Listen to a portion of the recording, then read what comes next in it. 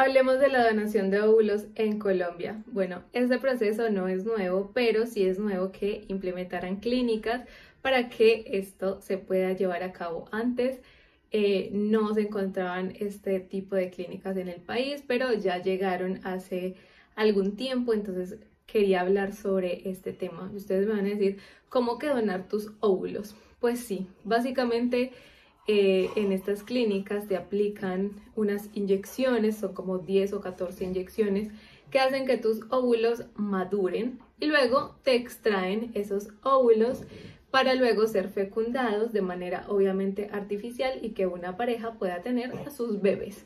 Pero tú estás haciendo esta pues donación y te pueden dar como un incentivo por las molestias causadas. No te dan un pago como tal, no está establecido como que esto es lo que te va a pagar la clínica porque tú dones tus óvulos, no, porque se supone que tú estás haciendo una donación, pero sí te dan un reconocimiento económico porque eh, este proceso de la maduración de los óvulos, obviamente que sean más rápidos y todo esto, el tiempo que tú le inviertes, eh, pues es un poco incómodo, entonces por eso te dan este incentivo. En Colombia este incentivo va desde más o menos 1.500.000 a 2.500.000, depende básicamente de la clínica o también depende de cuántos óvulos como que se maduren y este tipo de cosas.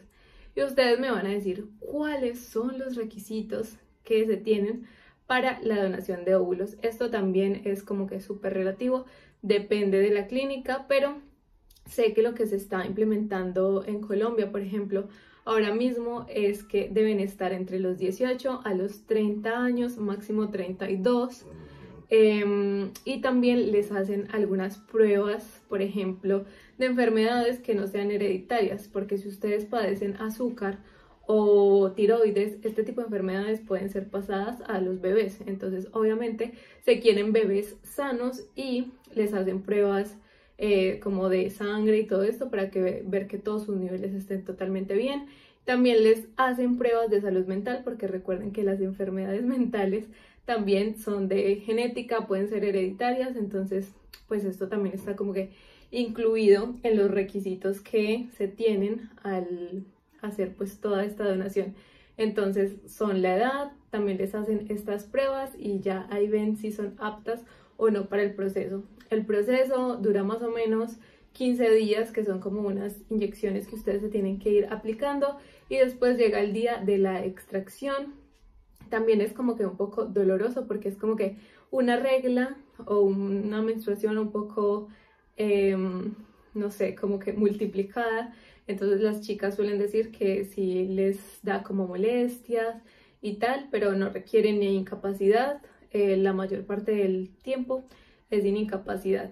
Y el pago, como les dije antes, depende del país o de la clínica. En Colombia está entre 1.500.000, 2.500.000. En España pueden pagar como 3.000 euros más o menos, de 3.000 a 5.000. Y en Estados Unidos va desde los 7.000 dólares a los 12.000 dólares. Entonces, pues realmente es muy relativo. Es con la clínica que den, pero siempre asegúrense de que sea un lugar confiable. Y también tengan en cuenta que el beneficio económico que les dan, no hay ninguna ley, por lo menos en Colombia, que diga es que esto se lo tienen que pagar y tal. No, porque es como em, algo que ellos hacen para incentivar también pues la donación, pero no es como que un pago fijo que ellos tengan que hacer. Entonces como que tenganlo ustedes en cuenta para que después no digan es que me robaron, es que esto, es que lo otro, no.